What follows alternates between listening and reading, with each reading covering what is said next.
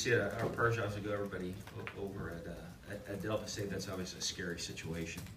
Um, You know, we, uh, I know it's a scary situation on campus here a couple of week, couple weeks ago, and and fortunately, um, there were no casualties or injuries or anything that, that occurred from that. Um, So, uh, obviously, anytime anything like that happens, uh, on a college campus, or really anywhere, really scary, so all our prayers are with them, um, over there in Cleveland, Mississippi today, so. But, um, uh, we gotta get ready, uh, tough game this week for us with Northwestern State, I think a lot of people saw last week. Um, how challenging it is for you if you don't, you know, come out there and you're not prepared to play your A game, um, you're, you know, you, you're in a battle.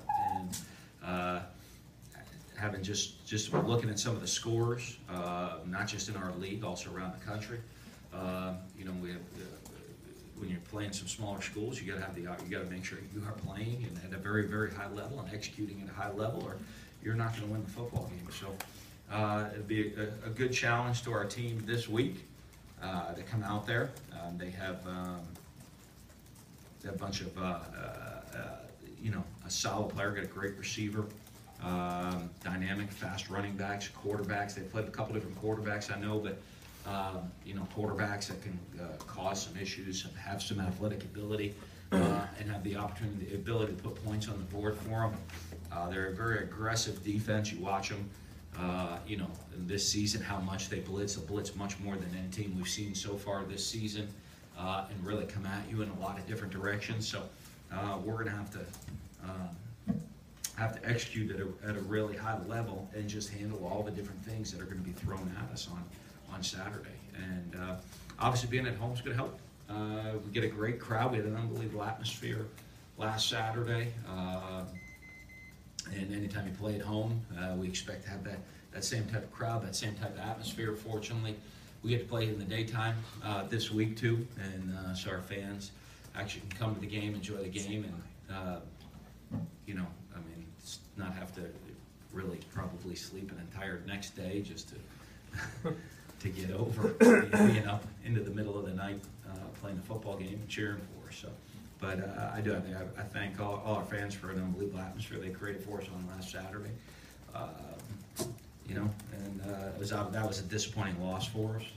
Um, but I mean, anytime that you know, one of the things you look for, in, especially early in a season, uh, we got, you know, I mean, we have the problems we have to fix. You got problems you have to go adjust and you have to fix too. And um, we make that kick at the end of the game, we still have the same problems. You know, I mean, except the only difference was we made a kick. Um, and not that that was that was the, the, the turning point in the game, but I explained to our team if you know that moved that ball about eight feet to the left. Um, and the only difference between yes, the yesterday we had and the, uh, that ball being eight feet to the left is we're just have all the same issues and problems with just a big giant smile on our face. And uh, so we have got to work to get better as a football team uh, in every phase, and we got to continue to improve throughout the season. And uh, because great football teams, um, we're- not looking to peak early September. We're looking to peak as the season goes on and continue to improve from week to week. Questions?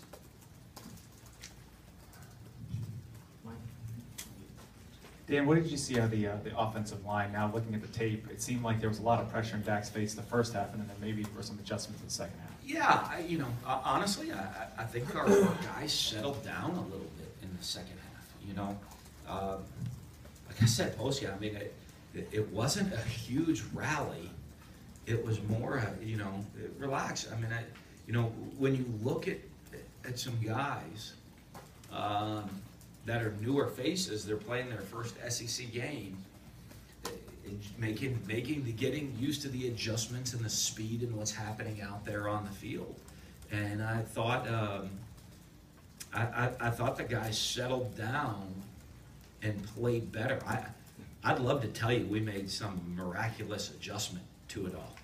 Uh, I, you know, as you saw, I think in the second half, we didn't need to make adjustments. We just needed everybody go out there and execute uh, a little bit better, and uh, you know, and, and to not worry. I, I you know, I, there, there are things to me. We, we made some really silly mistakes in the first half um, as we went back and looked at it.